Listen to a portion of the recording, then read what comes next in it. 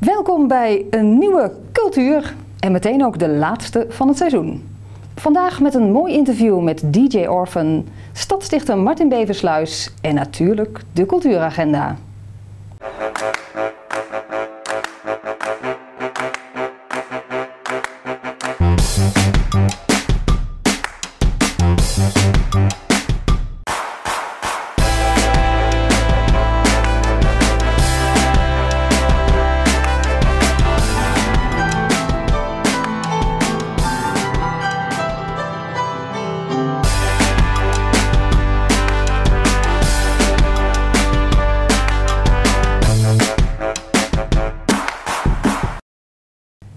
Demis Haneveer, ook wel DJ Orphan, maakte zijn debuut al in de jaren 90. Toen als zanger met de hit Ga dan. Na stemproblemen ging hij verder als DJ Demis H. en trad op in verschillende Tilburgse clubs. In 2014 veranderde hij zijn naam in DJ Orphan. Way back, back into time. Hé hey jongens, kom maar in.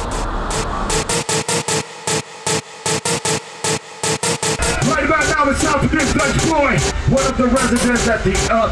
Ladies and gentlemen, give it up for DJ Orphan! Je hebt een eh, aparte geschiedenis, want jij eh, hebt niet altijd in de dancewereld gezeten. Je bent eh, begonnen als zanger. Ja, dat klopt. Eh, toen ik een jaar of vijf was, eh, hebben mijn vader, mijn oom en eh, een vriend eh, van mijn oom en mijn vader hebben me in de studio gezet bij mijn oom.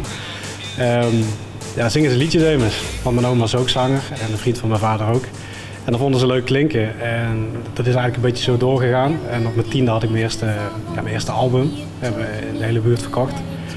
En op mijn eh, veertiende had ik mijn eerste nummer 1 hit. Ga dan. Als je vindt dat je graag ergens anders wilt zijn, nou ga dan. En het lijkt je dat beter, je vindt het te fijn, mijn vader was ziek. Eh, die heeft er een jaar tegen gevochten. En in het jaar dat hij dat tegen gevochten heeft op mijn zus verjaardag, was ik nog gauw een cadeautje kopen voor mijn zus. En toen stierf mijn moeder aan hersenbloeding terwijl ik niet thuis was. Vijf maanden later stierf mijn pa. Dus toen was ik ze in één keer allebei kwijt. Dus ja, hoe ga je daarmee om? Niet. Ik leefde in een roes de jaren daarna. En ik heb nooit het gevoel dat ik contact met haar heb gehad. Terwijl ik met mijn vader altijd het idee had van dat hij bij me was, de jaren na zijn dood. Tot op vandaag. Ehm, en op een of andere manier wou ik, wou ik iets voor haar doen om haar toch te laten weten dat, dat ja, ehm, het klinkt heel stom, maar dat ik, dat ik ervan baal dat ik er niet was op die dag. En dat ik toch, eh, ik wou een boodschap aan haar sturen. Dus samen met mijn oom, uh, Marco Haneveer, heb ik een liedje geschreven en ingezongen. Laten we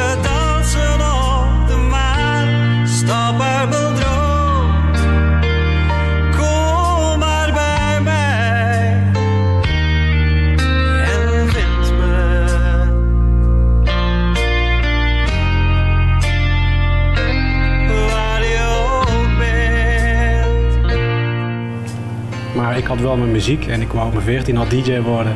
En ik had Thunderdome vinyls en ik had twee draaitafels van mijn pa gehad en een mengpaneltje. Ik keek naar VHS-tapes en ik heb me eigenlijk een beetje leren draaien.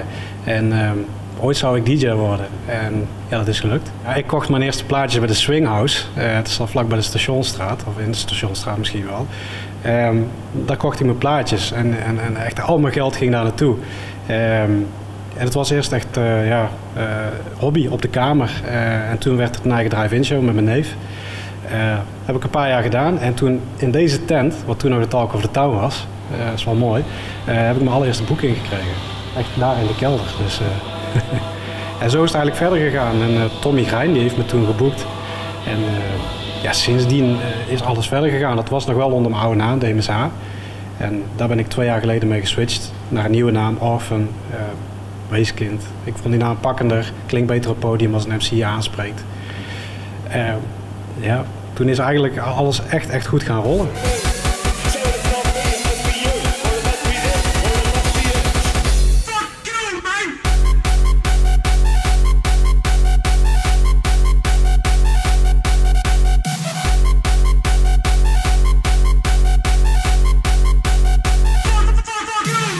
Freestyle is eigenlijk niet echt een stijl. Ehm, in de freestyle scene kan je van alles draaien wat je leuk vindt, zolang het maar lekker stevig is. Eh, maar je kan ook bijvoorbeeld in één keer een hele harde bobbelingplaat tussendoor draaien. Ehm, of een rocknummer van Nirvana. Eigenlijk, eigenlijk kan alles wel, als er maar lekker, lekker energie in zit. Ehm, en ik ben er niet vies om soms ook wel eens een Frans Bauer stukje ertussendoor te gooien om de mensen even van hun apropos af te brengen, zeg maar.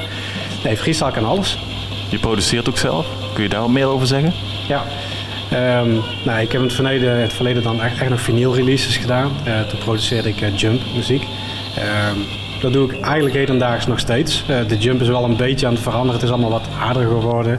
En dat is door de freestyle scene eigenlijk. Ehm, maar ik produceer. ehm, eh, ik maak heel veel bootlegs eh, die gedraaid worden door eh, nou ja, best wel wel leuke namen, mag ik zeggen. Ehm, en de release op Pussy Lounge vorig jaar, ja, dat heeft, dat heeft me echt, ehm, echt ver gebracht. Met veel leuke feesten voor Back to School. op Dream Village Festival, Daylight Festival. vooral Intense Festival en Decibel zijn toch ja, allemaal wel festivals wat wat kroon op mijn werken zijn de laatste twee jaar. Ik, ik stap nooit zenuwachtig op een podium.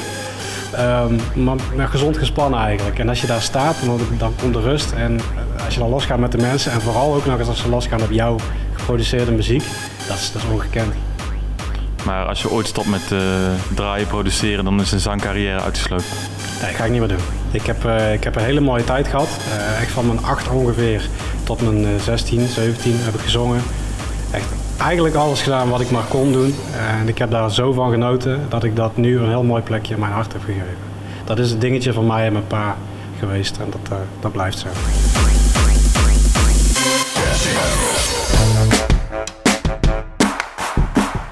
De cultuuragenda van 20 juli tot en met 27 juli. In het Wilhelminapark staat twee maanden lang een manshoge sculptuur van architect Jonah Friedman voor Incubate. Iedere donderdagavond deze zomer krijgen artiesten en kunstenaars de kans om zich te laten inspireren door het kunstwerk dat is opgebouwd uit de ringen. De grootste kermis van de Benelux komt er weer aan. Vanaf aankomende vrijdag is het 10 dagen lang feest in Tilburg. De kermis staat in het centrum, maar maakt ook een rondje door de spoorlaan en de spoorzone. De stad krijgt weer een gekleurd tintje maandag. Wie kermis zegt in Tilburg, zegt ook roze maandag. Vanaf half één 's middags vertrekken de feestvierders vanaf het station naar de binnenstad. Hou de rest van de zomer ook de filmagenda in de gaten, want er zijn veel premières van jeugdfilms. En natuurlijk de pop-up cinema bij onder andere de Nieuwe Vorst en de buurtbios. Deze aflevering en dit seizoen sluiten we af met een gedicht. Deze week stadsdichter Martin Beversluis met Boot van Lucht en Licht. Boot van lucht en licht. Omdat je heel je leven richting liefde vaart met vele verhalen en een oude landkaart waarop geen enkel kruisje staat. Je weet niet welke zee waarheen gaat, bestemming bereikt of achter het net gevist. Liefde is geen porno, geen steek je lul maar in mijn luchthaven, jij geile terrorist. Daar varen wij voorbij. Want het is liefde. En het gaat om jou en mij, maakt niet uit wat een ander verkloot. Daar varen wij omheen in onze gammele boot van lucht en licht. Geniet van de glimlachjes op je gezicht. Vind de woorden terug uit het oudste gedicht. Dat van die vogels en hun nesten. En het vinden van liefde in de dagen die ons resten. Met jou vaar ik het liefste naar de liefde, al weten we de weg allebei niet. En zinkt onze boot uiteindelijk in de tijd. Dit was weer een seizoen cultuur. In september zijn we er weer. Bedankt voor het kijken. Geniet van de zon, de vakantie, de kermis en tot cultuur.